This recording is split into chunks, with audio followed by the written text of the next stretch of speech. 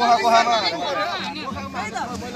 मलाई कोखामा हान्यो त्यसको लागि म एक्सक्युज गर्छु तपाईँले एक्सक्युज गरेर हुँदैन तपाईँले एक्सक्युज गरेर तपाईँहरूको कारणले तपाईँहरूले भन्नुभयो पुलिसले हामीमाथि दुर्व्यवहार गर्यो हो। योभन्दा अगाडि पनि एमाले र राप्रपाको निर्वाचन भइसकेको छ।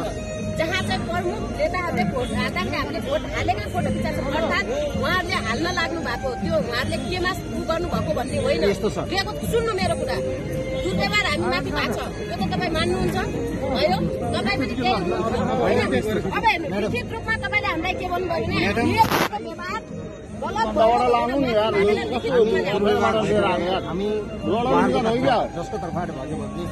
होइन बाटो छ उतापट्टिबाट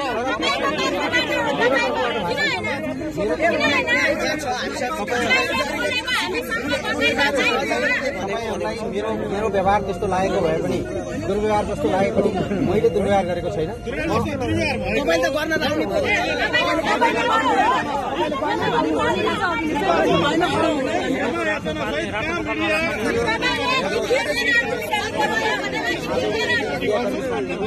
अनुरोध गर्दछु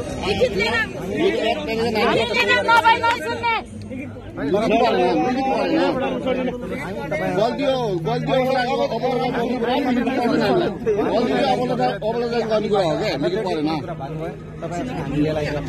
तर अब तपाईँहरूले व्यवस्थित भएर लिनु पर्दैन क्या भाइ लिनु पर्दैन लिनु पर्दैन